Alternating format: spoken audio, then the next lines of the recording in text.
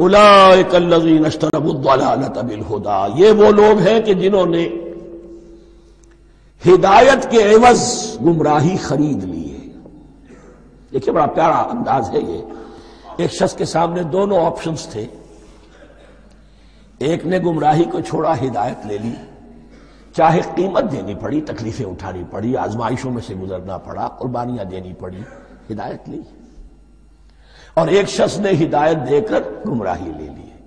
आसानी तो हो गई। फौरी तकलीफ़ से तो बच गए।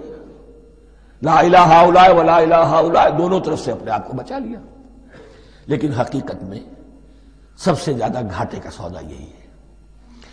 उलाय कल नदीन अशतरबुक दलालत बिल होना हिदायत देकर और जलालत खरीद ली। है फमा रब हक तिजारत हो तो उनकी तजारत, उनके हक में हरगिज मुफीद नहीं हुई। अब यहाँ भी देखिए, रा और हे, हा, रब, हा, इसके मानी नफा, सही नफा, जायज़ नफा। रा, बा और वाह रिबा वो सूद वो भी इजाफा है, वो भी बढ़ोतरी है, लेकिन वो हराम है। एक है तिजारत के अंदर, जो नफा हो जाए, वो रिब है। रा, बा और हा, ये नफा है, जो जायज़ नफा है।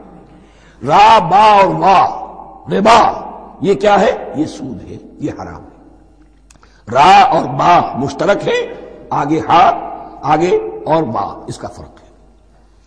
फमारा बेहद तजारत हम वमा कानू मोहतदीन, इनकी तजारत, इनके हर इनके हक में हरगिज मुफीद नहीं हुई, और नहीं है अब ये हिदायत पाने वाले।